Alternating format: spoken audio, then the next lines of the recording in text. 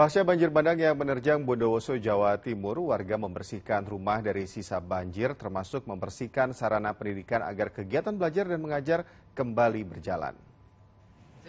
Para guru SD Negeri Sempol 1 Bondowoso, Jawa Timur sibuk membersihkan sisa material banjir. Tumbukan lumpur dan potongan ranting memenuhi jalan di depan sekolah. Bagian dalam sekolah juga tak kalah berantakannya. Lumpur setebal hampir satu setengah meter menutupi halaman dan lantai ruang kelas. Sejak banjir menerjang Senin lalu, aktivitas belajar diliburkan.